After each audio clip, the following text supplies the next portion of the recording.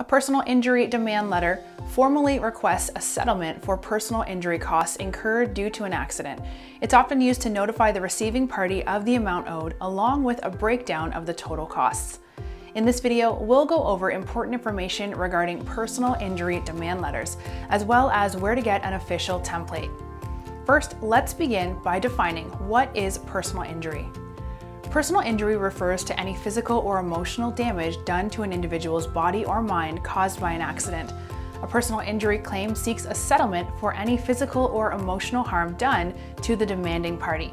Please note it doesn't amount for any personal property damages that occurred, only for personal injuries. The most common personal injuries are results of car crashes, slip and fall incidents, use of defective or unsafe products, medical malpractice, workplace accidents, and dog bites. These are just a few examples. Personal injury cases vary and often stem from acts of carelessness, known legally as negligence, as well as from intentional acts. Now, this brings us to the importance of a personal injury demand letter.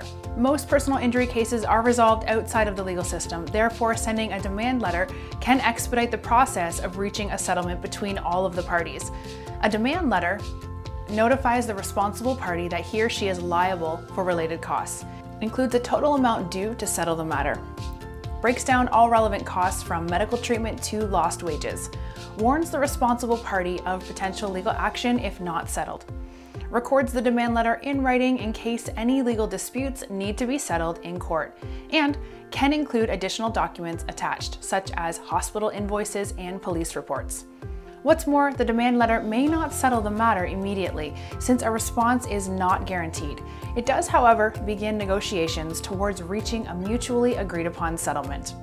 Finally, let's go over what to include in a personal injury demand letter. The letter should be written in a strong and clear manner that motivates the recipient to respond. Be sure to include the names and contact information of the sender and recipient, the date when the letter is being sent, the total amount due and its due date, if any, a breakdown of all costs incurred due to the accident, including medical treatment, loss of wages, and pain and suffering costs, a detailed account of the incident, the reason why the recipient is responsible for costs, a threat of legal action if the matter is not settled, and any relevant supporting documents such as reports and bills. Once the letter is created, it is always recommended to send it using certified mail in order to ensure it gets to its correct destination. We're eForms, the largest database of legal documents. Access your free personal injury demand letter templates at the link below.